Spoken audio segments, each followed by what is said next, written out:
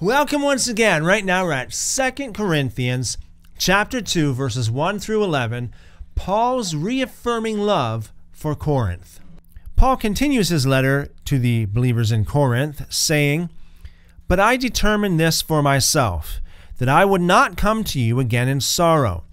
For if I make you grieve, then who will make me glad but he who is made to grieve by me? And I wrote this very thing to you, so that when I came, I wouldn't have sorrow from them of whom I ought to rejoice, having confidence in you all, that my joy would be shared by all of you.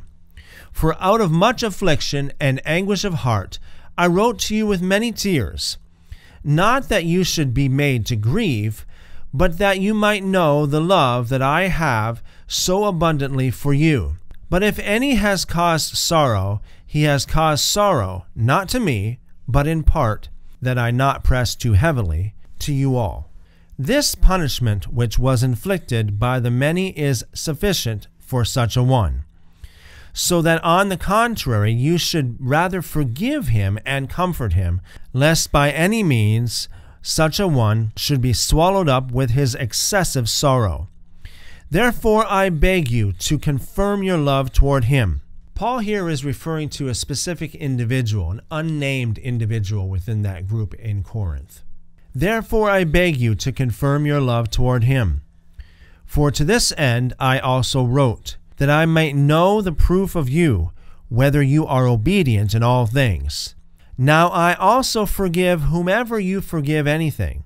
For if indeed I have forgiven anything, I have forgiven that one for your sakes in the presence of Christ that no advantage may be gained over us by Satan, for we are not ignorant of his schemes. And this here is a well documented scheme of Satan in the scriptures, and that is to have unforgiveness in your heart, bitterness in your heart towards somebody.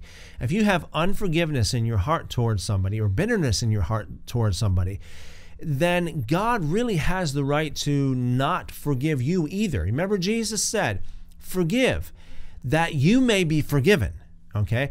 Where did Jesus get that concept from? Well, once again, it's from the Torah. God said to Moses that no one is supposed to hold a grudge against another person. And if anything would give God reason to turn someone over to Satan, then it would be disobedience to his own law. So, in accordance with the Torah, Jesus said you must forgive.